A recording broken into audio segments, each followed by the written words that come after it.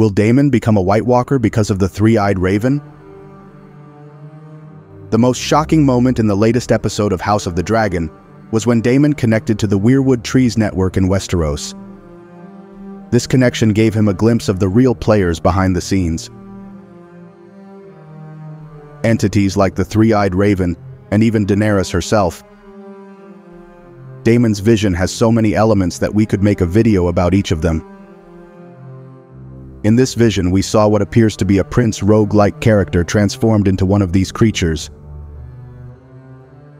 Could it be that Daemon is destined to join the Night King's troops? Or even become the leader of the White Walkers? How dark is Daemon Targaryen's destiny really?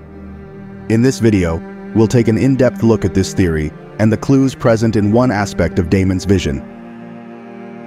The possibility of Daemon becoming a White Walker.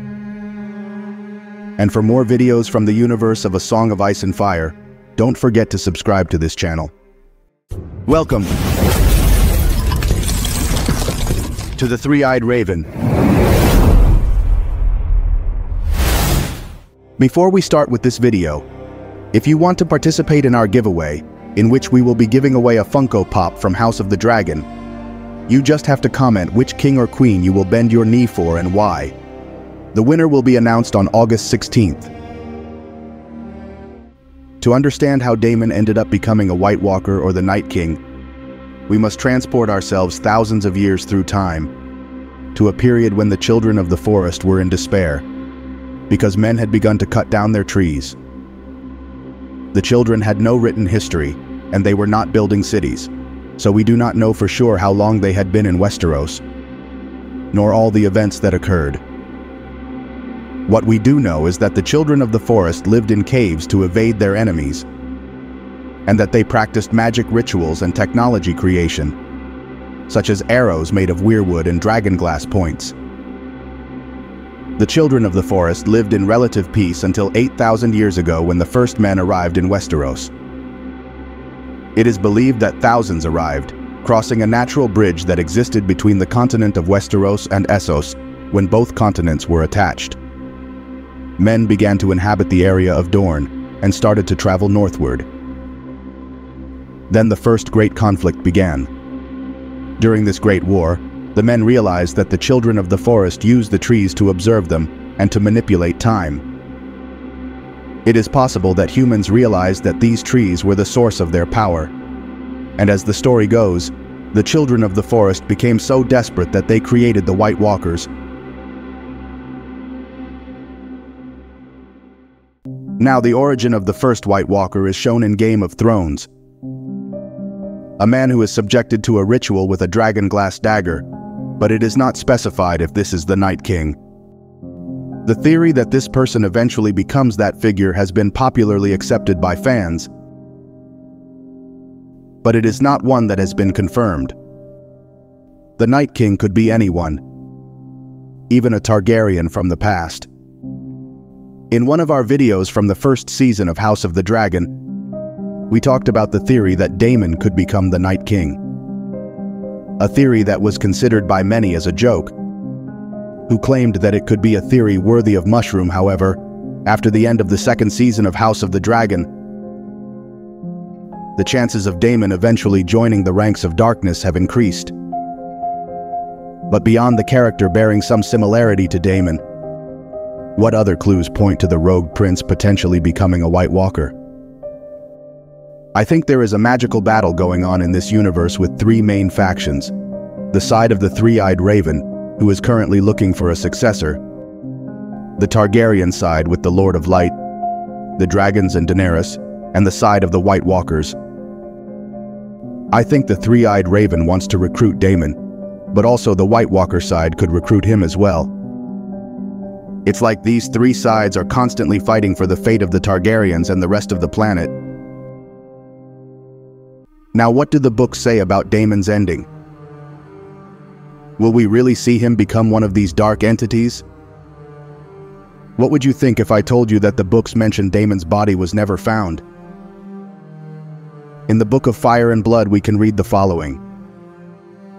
That Prince Daemon died as well we cannot doubt. His remains were never found, But there are queer currents in that lake, and hungry fish as well. The singers tell us that the old prince survived the fall and afterward made his way back to the girl Nettles to spend the remainder of his days at her side. In this fragment of the book, we are shown what actually happened to Daemon's body after a confrontation he has in battle.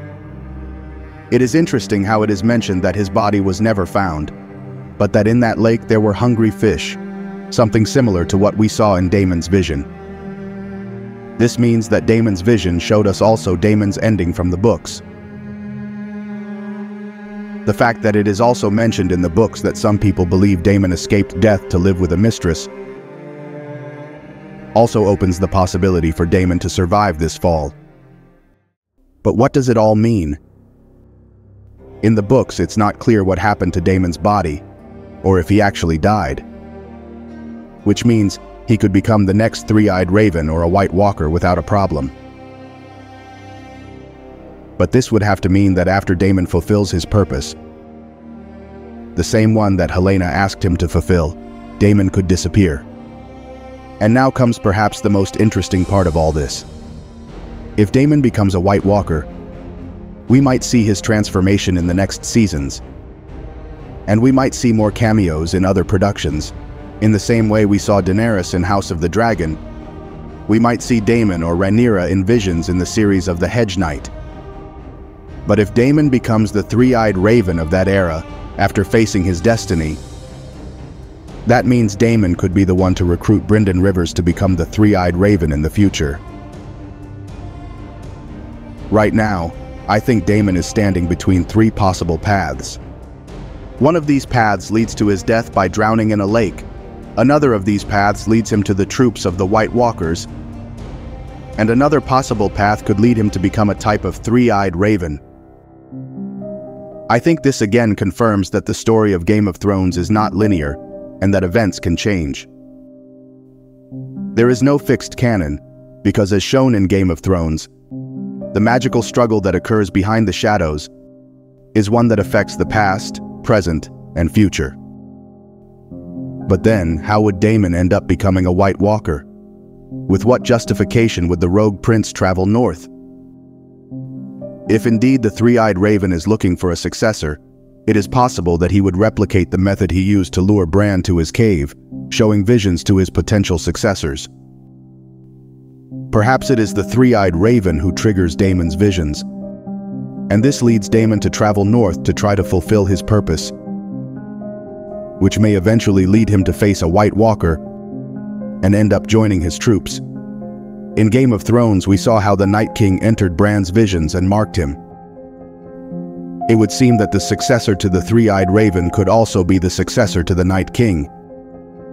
And these entities are competing to recruit the most powerful Targaryens. I think the possibility of us having a series of Daemon and his story in the north is possible. Now that we know his story might not conclude at that lake. Everything is possible now that the magical elements are on the table. But tell me, what do you think about all this?